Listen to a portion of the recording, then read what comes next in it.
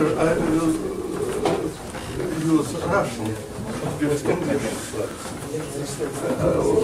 one more reason to do uh, that uh, terms which I must use are rather strange. Uh, you should be you should know English very well to understand that it is not uh, business stuff, for instance, uh, is not Russian te- term to captain money. Ну, рассекиривается. Да. Да, бабло. Да, и теперь, и теперь по-русски. Что? Значит, ну, прежде всего, что такое э, раскрой материал? Это очень важная промышленная э, фаза, э, когда исходное сырье делится э, на заготовки. Заготовки фиксированного размера, формы. э, При этом получаются в большом количестве отходы. И, собственно, нужно из имеющегося сырья произвести как можно больше заготовок, причем в нужных пропорциях, что часто бывает трудно. Причем бывают такие ситуации, когда сырье поступает э, в очень разной форме и размеры. Наиболее типично здесь э, такие примеры, как лесопиление. И ствол, который надо делить, он какой-то странный. И э, кожевенная промышленность. Можно еще добавить, э, что сейчас очень интересны задачи раскроя, э, которые не вошли в исследование Виктора Абрамовича. Это раскрой э, автомобильного стекла. За то время, которое э, прошло с тех пор, появились совершенно новые производства э, листового стекла, и там компьютеры на ходу определяют э, планы раскроя, при которых э, обходятся э, дефекты. Ужасно интересно. Ну вот, так вот, задачами раскроя занимались, конечно, и раньше, но в работах Конторовича и Залгаллера э, в 1948 году впервые были применены математические методы. Интересно, что Конторович был тогда уже известный профессор, а э, Виктор Абрамович только-только кончил университет. Вчера он рассказывал некоторые подробности. Конторович смог взять, я уточню только, Конторович смог взять Залгаллера в Лами только потому, что в это время был привлечен к расчетам по атомной тематике. Сейчас вышло постановление Совета Министров 1948 года, в котором прямым текстом это все пишется. Ну вот, вот такой был Залгаль в те времена. Как видите, он почти не изменился.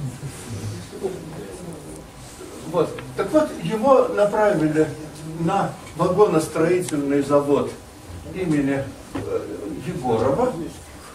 Я посмотрел, Егоров э, такой коммунистический активист, который боролся с оппозицией потом. А что, в Ленинграде есть э, завод по производству автомобилей? Я сказал, Вагоны. автомобили- э, вагоны. Вагонов был. Маленький Car building, это, это вагоны ремонт. Car. Вагоны тоже называются car. Вагон железнодорожный. И трамвайный. Вот, и, и э, началось исследование. В 50, 1951 году Конторович и Залгаллер э, в таком общественно-политическом издательстве «Ленэсдат» э, опубликовали книжку «Расчет рационального раскроя промышленных материалов». Вот эта книжка вот так вот выглядит. При этом нужно иметь в виду, что ну, расчет весь, все расчетные вещи делал, насколько мы понимаем, Виктор Абрамович. Леонид Витальевич занимался расчетами другого типа. Вот. Но надо сказать, что у них не было даже, даже настольных калькуляторов. Положение было таким, что вот в этом цитировавшемся постановлении за подписью Сталина выделялась Академия наук и делилось 60 э, калькуляторов Мерседесов Клит, из которых Лами получала 10. Мне ужасно интересно, я не успел Виктора Абрамовича спросить, не считал ли он на Мерседесе. Ну, мы потом спросим. Вот. Так вот, книга эта, про которую я говорил, была выпущена еще вторым изданием в 1971 году, вот это второе издание. Оно, как видите, существенно толще. В него добавлены э, две важных вещи. Брошюра Виктора Абрамовича э, про одну задачу лесопиления, я про нее потом буду говорить, а второе, совершенно поразительное, э, совершенно поразительный обзор литературы, в которых, вот видите, эти же обложки, в этом обзоре, ну, я для этого доклада впервые сосчитал, что там 817 э, работ упоминается, э, которые разделены на 96 групп. Я не знаю, считали вы это или нет. Распределение было оптимально? Что? Какие работы? Что, какого характера? Я- Не математические. Ну и математические, и не математические. И это же зависит от точки зрения. Тут Математически было совсем мало. Там упоминается несколько моих работ, но некоторые А, пулисты это могут 71 сказать, год. что они 71, конечно. могут сказать, что они не математические. Но вместе с тем есть есть работы о использовании по рациональному раскрою в сапожной промышленности. Они вот заведомо, э, такие, которые заведомо не математические. Очень разные. Есть альбомы э, диаграмм, используемых при э, распиловке хлыстов, то есть э, стволов деревьев на доски. Ну вот диаграмма. Немножко математика. Ну вот, э, значит, я сказал, что э, присутствует, вот э, вставка, про которую я говорил, называется «Новое в э, вычислении поставов при лесопилении». What is the, А что значит uh, как что по-русски представить? Лог это бревно. Вот бревно. Не, не, не, э, название New. Вот это. Да. Я сейчас объясняю. Значит, это вот новое со- вот определение постав. А постав, это вот что такое. Ну, давайте пропустим немножко и покажем. вам, Что такое постав? Вот смотрите, когда пилится бревно, оно пилится одновременно несколькими пилами. Вот так вот, видите, да? Вот схема пиления. Причем пиление может быть двухшаговое. Сначала бревно пилится вот на такие бру- брус- брусья, а затем отдельные брусья пилятся вот так многими пилами. И поставом называется э, размещение пил на оси. Вот фиксация э, зазоров между ними. Так вот, задача такая. э, Найти такие расстояния, при которых выход полезного э, материала из бревна только максимальный. Ну вот, очень важная задача. Особенно в стране, которая много денег зарабатывала э, на лесе. И тогда еще старалась самостоятельно пилить. Особенно в стране, где много народу было занято на лесоповале. Ну, лесоповал, к счастью, э, был в стороне от наших авторов.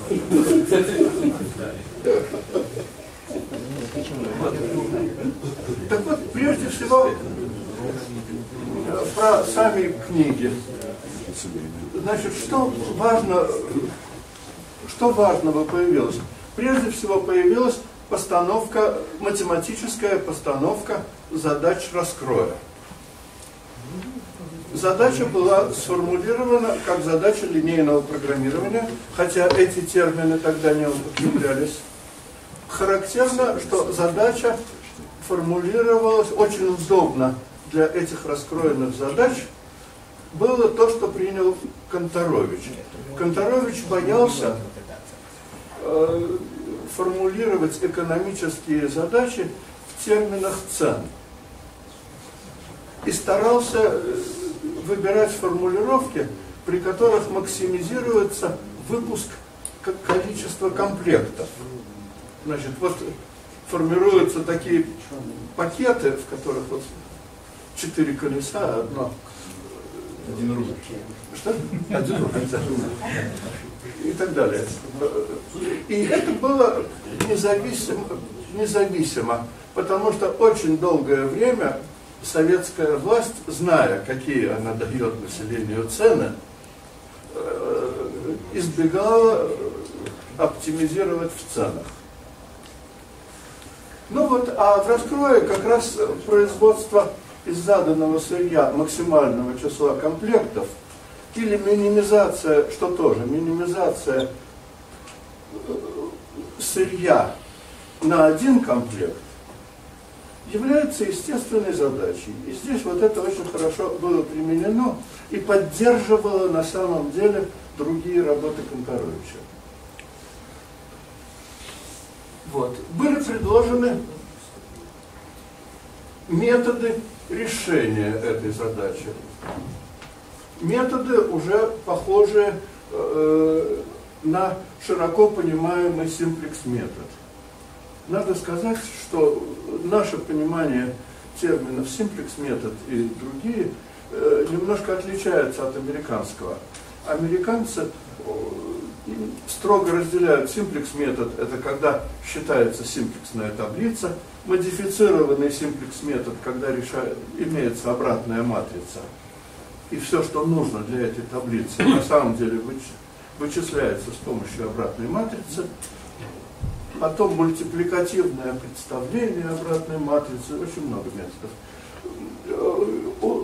Мы, следуя Конторовичу, ну и Залгаллеру тоже, говорим симплекс метод про все эти методы, отличая только двойственный симплекс метод, в котором решается не прямая задача, а двойственная.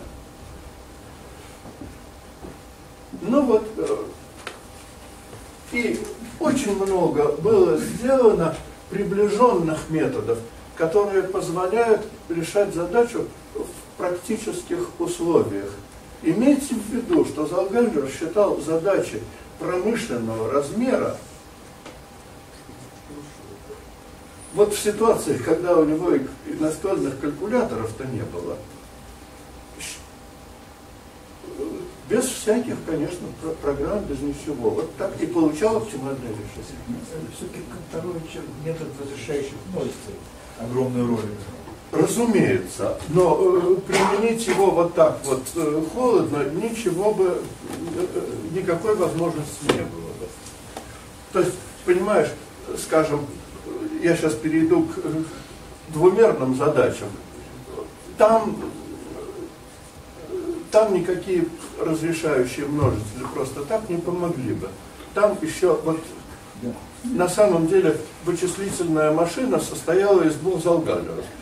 Вот один залгаллер э, следовал, э, вот один процессор внутри залгаллера занимался разрешающими множителями, а другой из этих множителей составлял э, вводимые в базис раскрои и пересчитывал все. И, конечно же, тут появлялись э, очень важные в методическом отношении и дразнящие экономистов э, находки, вроде того, что мелкие детали не надо вставлять в отдельные планы раскроя больших листов.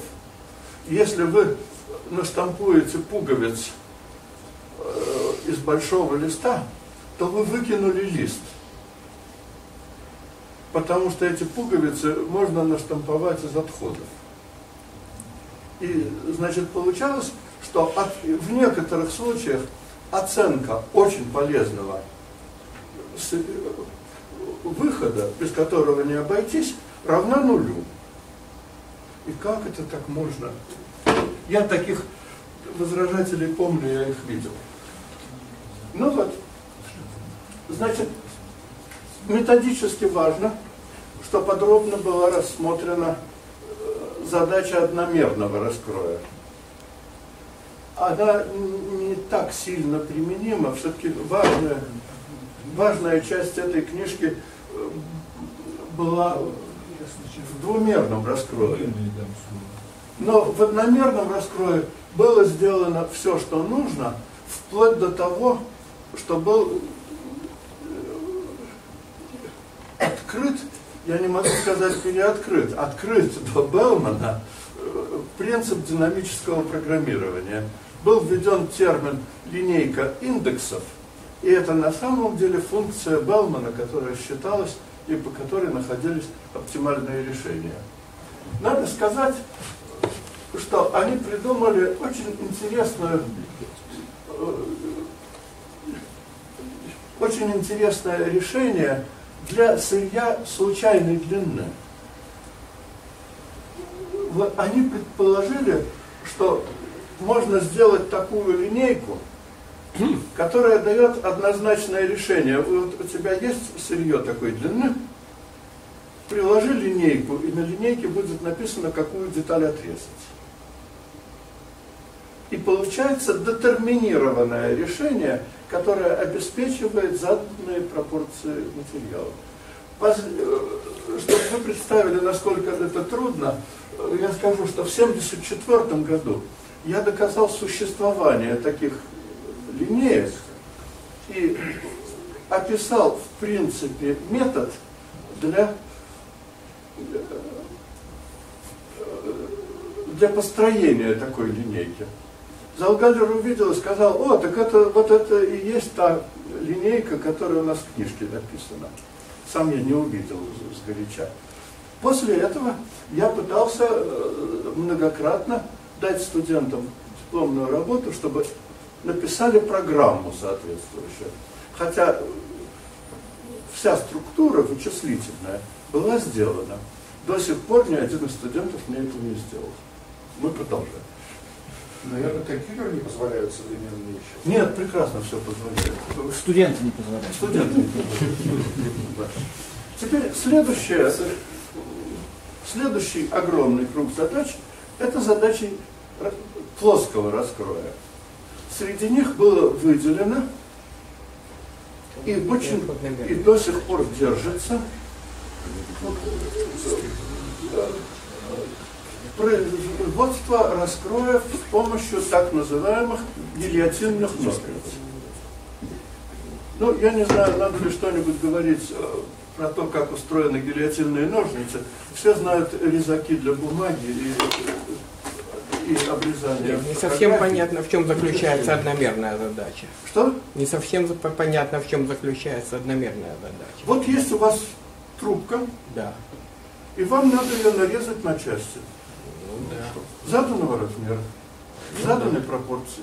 Что такое заданная пропорция? Ну, значит так, из- известно. Вот вы На делаете... каждые пять длинных, две коротких. Вот вы делаете стол вот такой. Значит, у него четыре вертикальных ножки, две таких связки, ну еще каких-нибудь восемь соединений. И вам нужно выпускать столы только. Вот, пожалуйста, у вас имеется исходное сырье по 15 метров ровно и кроите, пожалуйста, так, чтобы получилось. И дальше вот выясняется, что эти мел- мелкие кусочки, если вы одну штуку сырья разрежете на мелкие кусочки, вы потеряли штуку сырья. Потому что у вас э, при, после кройки больших деталей останутся хвостики, в которых, скорее всего, хватит места э, для мелких деталей. Понятно? Вот теперь, когда у вас, когда у вас исходное сырье имеет не фиксированную длину, а переменную, вы можете играть на том, что э, вот на распределениях, которые там будут. А в двумерном э, случае все страшнее. Вот пример раскроя, раскладки точнее, которую нельзя получить гильотинными ножницами. Гильотинные ножницы режут вот так сквозным резом от одного края до другого. Ну вот. Вообще для этих четырех деталей нет раскладки, где бы все они поместились, э, вот, э, реализуемой, э, чтобы раскладка была раскраиваема на гильотинных ножницах. Ну вот, но на самом деле это было очень удачное облегчение задачи, потому что при такой задаче, при таких ограничениях можно к вычислению раскроев применить динамическое программирование. Но вот Конторович и Залгалер к этим задачам это не применяли. И но Виктор Абрамович вручную находил вот из книжки взятый пример вот такого вот сложного раскроя. Видите, надо разделить так, потом отрезать здесь две части, здесь разделить вот так, отпилить здесь, отпилить здесь, распилить здесь. Вот получается три размера в количествах 2, 1, 2. Ну и вот представляете, для э, вагонов э, нужно было вот столько чертежей. Книжка, в общем-то, полна чертежами, великолепно выполненными. Я думаю, что это э, чертежники завода Егорова делали. Виктор Абрамович, кто, кто эти чертежи делал? Он и делал. Молчит. Ну вот.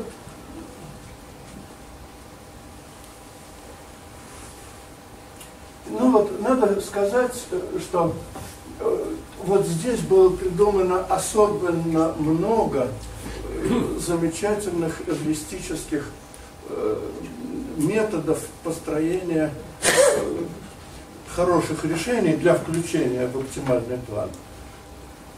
И э, когда мы уже писали программы, Залгальдер нас научил, э, как делать очень хорошее начальное решение. Оказалось так хорошо, что вот мы с одной аспиранткой сделали симплекс метод вот с таким началом, и до сих пор это держится других программах. Теперь следующий э, вопрос. Это укладка одинаковых кругов в прямоугольник. Виктор Абрамович отмечает, ну, то есть авторы отмечают, что в написании этого параграфа участвовал сотрудник Кировского завода Г. Шарубинштейн. Вот потом выяснил, э, потом этот сотрудник Кировского завода стал читать лекции на Матмехе по линейному программированию, вместе с Конторовичем уехал в Новосибирск, там занимался э, э, современными постановками двойственных задач, не только линейного программирования. И кроме того, у Геннадия Соломоновича Рубинштейна была студент, аспирантка Элита Мухачева, которая занималась как раз плоским гильотинным раскроем. И после того, как она успешно защитила диссертацию, она в Уфе возглавила школу оптимальных раскроев. Эта школа до сих пор благоденствует, у них много результатов, очень интересная вещь. Так что влияние Конторовича и Рубинштейна проявилось и в этом. Ну вот, а Виктор Абрамович в том обзоре, про который я говорил, уделил больше внимания э, укладке в кругов в листы и привел э, таблицу, составленную одним венгром, где предполагается, э, описаны предполагаемые оптимальные укладки К кругов э, в прямоугольник А на 2А э, при разном числе кругов. Ну вот видите, там есть несколько дырок, и я, увидев дырку всем и такую вот сомнительную схему, решил посчитать, и, ну, в связи с докладом. И удалось посчитать, и мне один студент даже выписал э, формулу, которую сюда следует вставить. Формула вот такая, с вот таким вот числом. Ну, приеду, поставлю ему пятерку. Что это за число? Что? Что это за число К7? К7 Плотность упаковки. это, Плотность может быть больше единицы. это, это э, нет, не 7 кругов. Это э, нечто типа диаметра вот при, э, при радиусе единицы. Значит, вот когда, э, когда 8, получается вот такая схема, ну и вот здесь они подло как. Ну, я просто переписал э, А, это размером э, минима- минимального прямоугольника с соотношением сторон 1 к 2, который э, натягивается на данное число кругов заданного единичного радиуса. Видите ли, здесь смотрите с ростом К, э, э, с ростом вот этого N, К растет. Ну, это, да, это размер прямоугольника. Вот это А, да. Сторона. Сторона при единичном диаметре. Да, сторона прямой, да, я, согласен. Сторона при единичном диаметре. Это я уже показал вам. Значит, этому э, Виктор Абрамович э, посвятил отдельную брошюру. Вот она э, вышла, и после выхода первой книги, в 56 по-моему, году, а когда печаталось второе издание, было естественно ее включить в книжку, что и было сделано. Ну вот, сейчас я смотрел э, литературу в интернете, литературу по поставам, они продолжают писать э, сочинения на эти темы. Хотя, понимаете, уже кажется, техника э, разрезания сильно изменилась. Другие пилы, другие резы, они любят раскроить э, бревно первоначально на четверке, а потом каждую, каждую четверку кроить отдельно. Вот. Но все равно Долгазера стандартно цитирует. Ну вот, теперь я хотел сказать, что сейчас у нас вот э, с отъездом Виктора Абрамовича э, не все пропало. Есть две сильные группы, которые занимаются раскроем очень, очень активно и успешно. Значит, одна возглавляемая в Уфе Элитой Александровной Мухачевой, а другая в Петрозаводске э, возглавляется выпускником Матмеха Владимиром Алексеевичем Кузнецовым.